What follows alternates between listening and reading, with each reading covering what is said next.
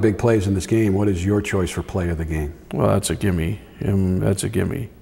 You know, you have that Fleming guy hitting that quarterback and that ball going to number 28 and intercepting the ball at the end of the game to win the game. You know, you can't pick any any bigger play than that. Kyle McCarthy not only makes the interception that wraps up the victory, leads you in tackles, and most of those tackles were big, big plays. I know you're not surprised at how well he's playing, but why is he playing at such a high level? Well, first of all, when you talk about the award, like the Thorpe Award, you know, where you're talking about DBs that are playing at the top of their game, I don't know how anyone could be playing much better than what, what he's doing. I mean, he comes out there, he leads our defense, he makes he makes tackles, critical interceptions, and this has been going on for a while now.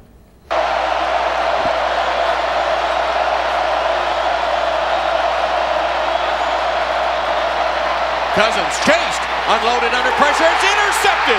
Kyle McCarthy. Flag is down. McCarthy still going. McCarthy with a cutback and tackled at midfield. Mr. Dependable, Kyle McCarthy with the interception. Blair White, ride to the right. Crowd kicks in. Here's the shotgun snap. Cousin looks. Rush is coming. He throws towards Blair White. Intercepted by Notre Dame. Kyle McCarthy. He's running up the far sideline. A penalty marker's thrown. You know it'll be on Notre Dame, but they haven't lost the ball. And Notre Dame's Kyle McCarthy is out to midfield with 57 seconds left.